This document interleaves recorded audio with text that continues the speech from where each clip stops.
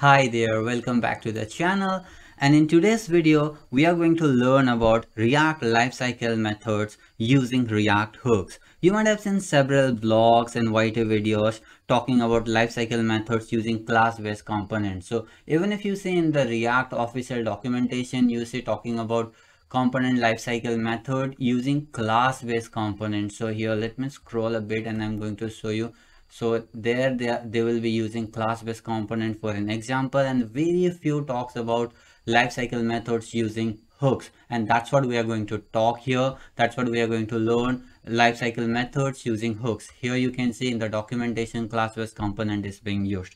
So without any delay let's begin.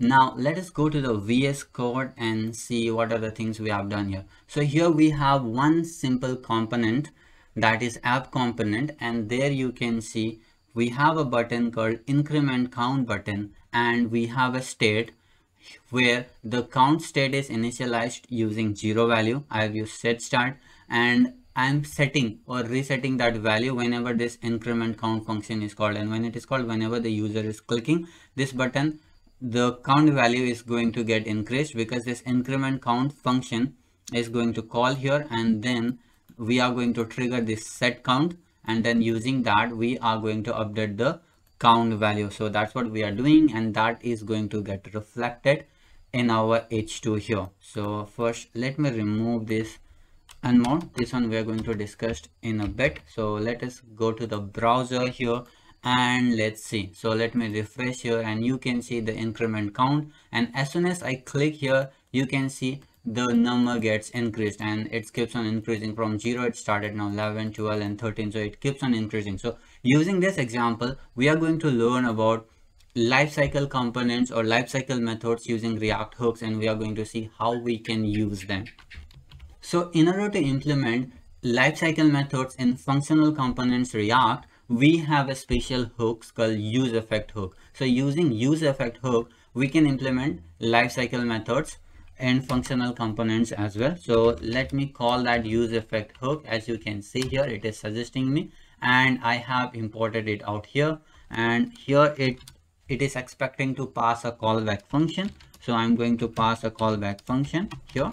That's all. And once i pass our hook is ready. Use effect hook is ready. Now using this use effect hook we are going to see all the lifecycle methods in React and we know that there are basically three phases of lifecycle methods in React that is the mounting phase, updating phase and unmounting phase. So mounting phase is that phase when your page gets loaded and when your component is loading for the first time that phase is known as mounting phase. Basically that phase where all that DOM elements gets prepared in the browser and all the data gets displayed. So mounting phase remember it is going to happen only one time when the page is loading for the first time. That is your mounting phase. And we have second phase called updating phase. So updating phase is that phase whenever some components changes. That means whenever the data gets changes in a particular component and we change the data using set state here. So we are going to change the data that is the count value using the set count and we are going to change the data of this component. And whenever you know that whenever the data of the component is changed that component gets re-rendered using set state method. Means that component is getting updated. So that moment of time we are in the second phase that is known as updating phase of the lifecycle components or the lifecycle methods and we have the last phase that is known as unmounting phase. So unmounting phase is that phase when that component gets killed or when that component gets removed. So that particular phase is known as unmounting phase. So we have these three phase and we are going to discuss how to implement all these three phase mounting updating and unmounting phase in functional components using use effect hook. So let us start with the mounting phase here. So implementing mounting phase is quite simple. We just need to call this use effect and we need to pass a callback function.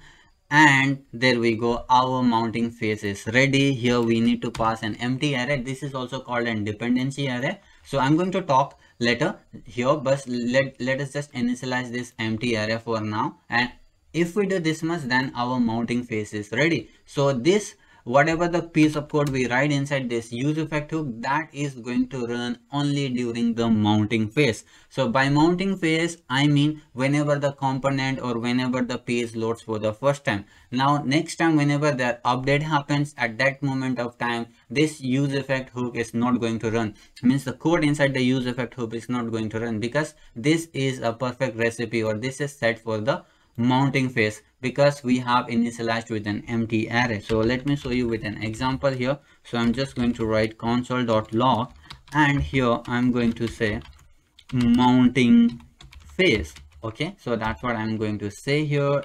And uh, let me save this and let me go to the browser here. Now let us refresh and you can see as soon as I refresh so this is the first time the browser is getting updated and that's how we can see mounting phase being loaded here. Now as soon as I try to increment the value you can see I'm incrementing the values using set count right? So that means I'm resetting the state.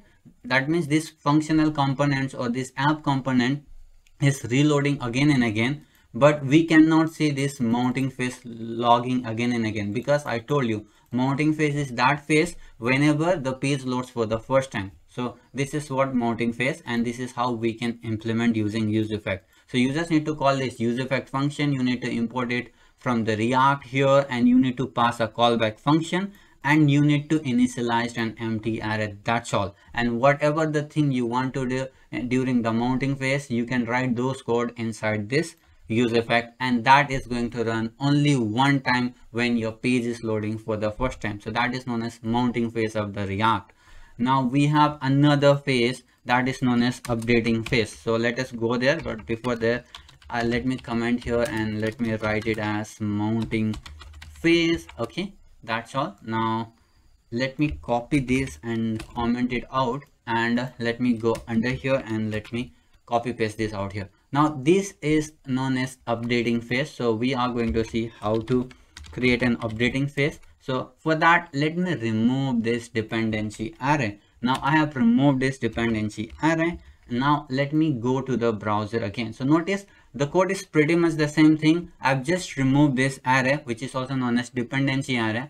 Now let me go to the browser and let me refresh my page and here it is saying updating phase. Updating phase runs for the first time as well. And now let me hit the increment counter. And you can see as soon as i keeps on incrementing you know that app component keeps on getting updated right? So that's why this updating phase is getting triggered again and again. See here i've called 11 time updating phase got triggered 11 time.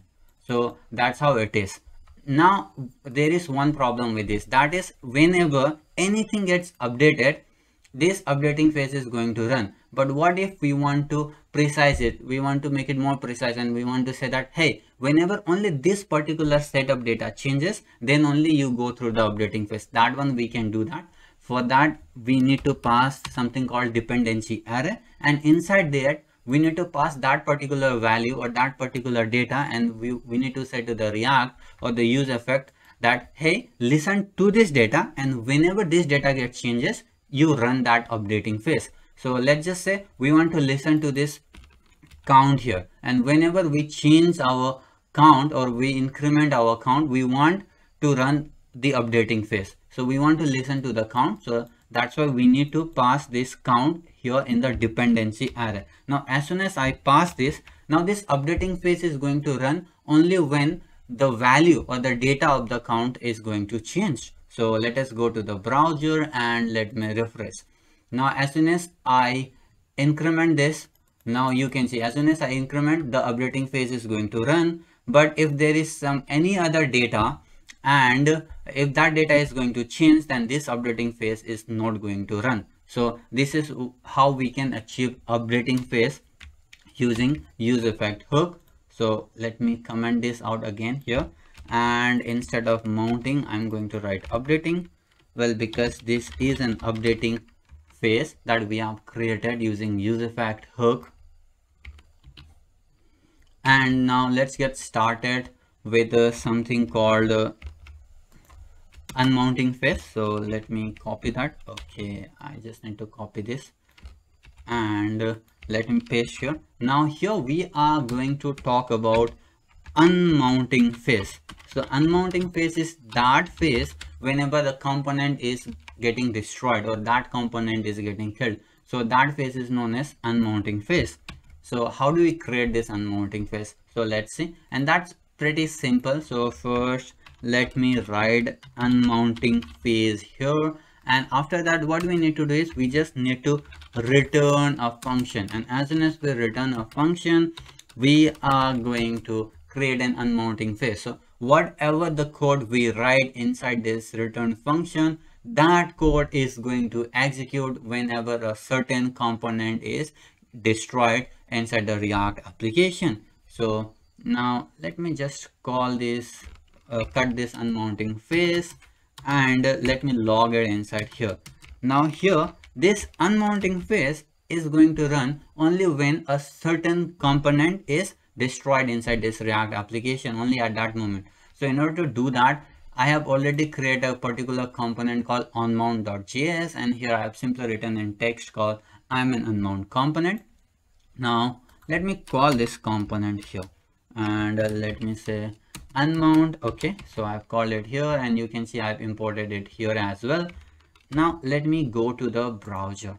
Now you can see that here we have this increment counter zero and i'm an unmount component now let me increment the counter okay? Now whenever uh, whenever i try to kill this unmount component whenever i try to remove this unmount component this unmounting phase is going to trigger. So this is also known as cleanup code uh, in react okay? So here let me write this cleanup code or cleanup function we like to call it. Now whenever i try to remove this unmount component this unmounting phase is going to call so let me remove this unmount and let me save and let me go to the browser and here you can see this unmounting phase got triggered and it got called so this is how unmounting phase works in React.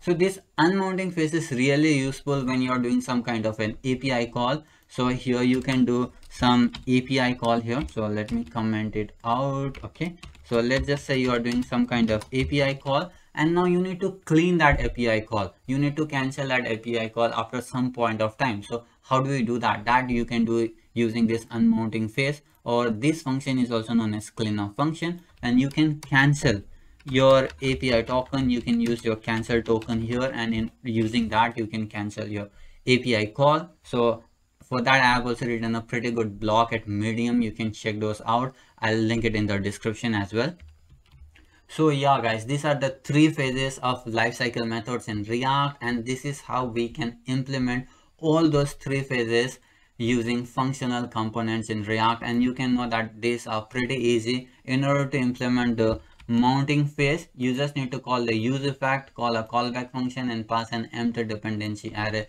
That's all and you have created your mounting phase. And for the updating phase, what you need to do is it's all same like just like the mounting phase what you need to do is you just need to pass some variable or some value in the dependency array and you need to tell the use effect that hey whenever this particular data gets changed you just get triggered at that particular point of time. So that is known as updating phase. And finally we have something called unmounting phase. That is that phase whenever a component is getting destroyed. So at that moment of time this unmounting phase is going to call. And remember we also call it cleanup function as well